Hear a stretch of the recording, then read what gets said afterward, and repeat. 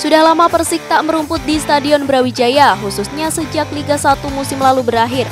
Mereka memang pernah bertanding di stadion bersejarah itu, tapi hanya uji coba melawan kesebelasan kota Kediri yang akan berlaga di Pekan Olahraga Provinsi atau Porprov Jatim.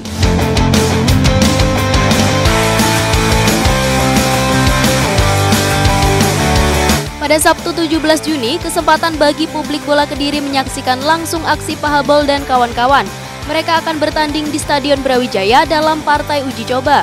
Namun lawannya kali ini lebih mentereng, yaitu Madura United.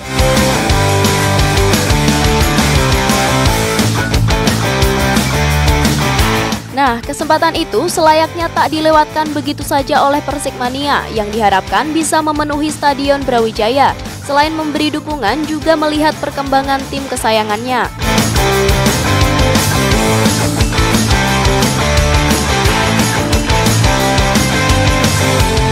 Arthur mengatakan kedatangan Persikmania sangatlah berarti sebab para supporter adalah pemain ke-12.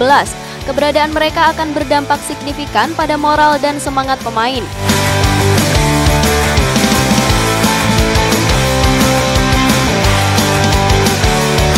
Selain itu, ada alasan khusus mengapa Arthur meminta para supporter untuk datang langsung ke stadion, yaitu karena pemain berposisi gelandang bertahan itu sudah kangen untuk bermain di depan para supporter.